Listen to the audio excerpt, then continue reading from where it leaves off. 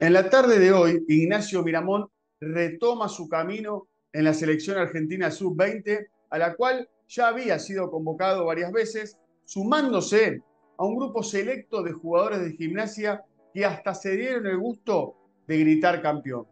Llegó el turno de Nacho. En su momento no lo llevamos al sudamericano porque no tenía la actualidad que tiene hoy, dijo el entrenador de la selección argentina, Javier Mascherano, y claro que tiene razón. El nacido en Bolívar hace 19 años está teniendo una gran temporada siendo una fija en gimnasia.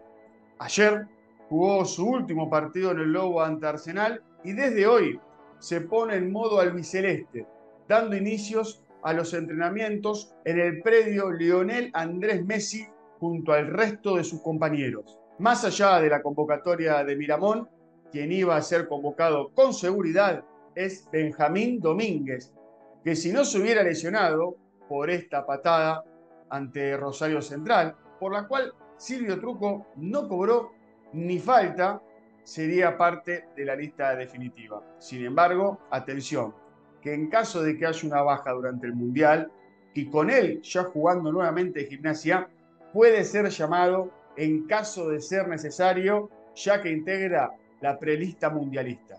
Misma situación para Felipe Sánchez, que está muy bien considerado por Javier Mascherano y que peleó hasta último momento.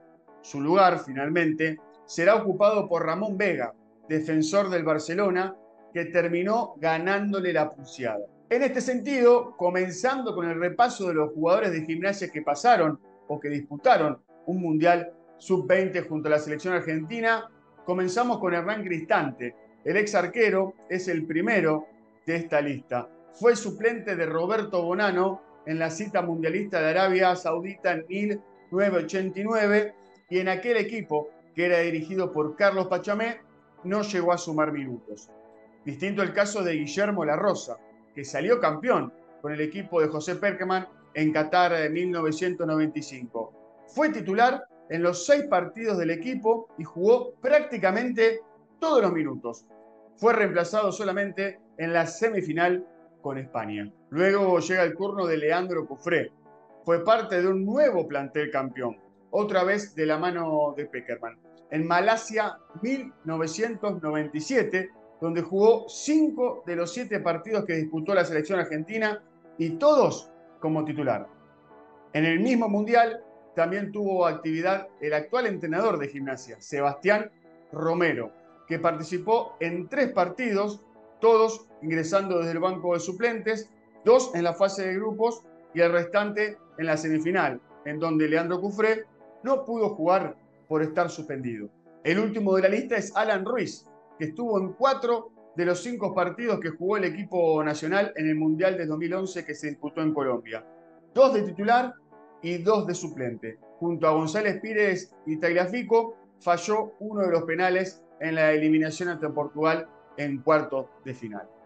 Hecho este repaso y esperando a ver cómo le va a Ignacio Miramón, te propongo como siempre que te suscribas a este canal donde debatimos, donde compartimos información, donde hacemos análisis y donde presentamos y damos a conocer estos nuevos talentos que tienen tanto gimnasia como estudiantes. Deja tu comentario aquí debajo en la descripción del video y contanos qué te parece, cómo le puede ir a Nacho eh, en esta cita mundialista que falta poquito para que comience en nuestro país, pero que desde la jornada de hoy tendrá el jugador de Lobo sumándose a los entrenamientos en el predio Lionel Andrés Messi. La seguimos la próxima.